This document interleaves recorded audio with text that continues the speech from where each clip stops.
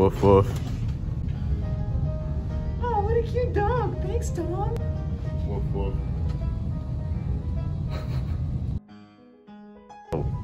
I hate my husband. At least you didn't marry him, Catherine. I know I didn't. Well, that's the difference between you and Casey and mine. Well, I don't know why you did. You know he forced you to. I thought it was a gentleman. Nick, I don't know why she married him. She, she ought to leave him.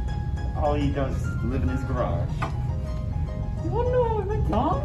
No! Too bad. Hour later. Woof woof. Go. Daisy, Daisy, Daisy. I can say whatever. Oh, I did not hit her. It's not true. It's Baloney. I did not hit her. I did not. Oh hi. Nick. Eventually. God knows everything you've been doing. You can fool me, but you can't fool God. so we never beat me, little coward. Ah.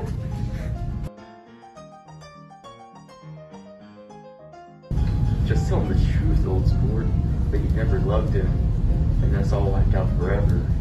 That's for too much. I love you now, and is that not enough? I loved you before, but I love you now. What, old sport? That's a lie. He didn't. She didn't know you were alive. Daisy's leaving you. Nonsense. Tom, stop this nonsense. You two, go into the car now. Right now. Anyway, if you guys want some of this stuff, Jordan, Nick, No. No. Hey, it's my birthday. Nobody cares. Go. Alright, I need you guys to get in the car right now. Jordan, Nick, get here. Vroom vroom vroom vroom vroom.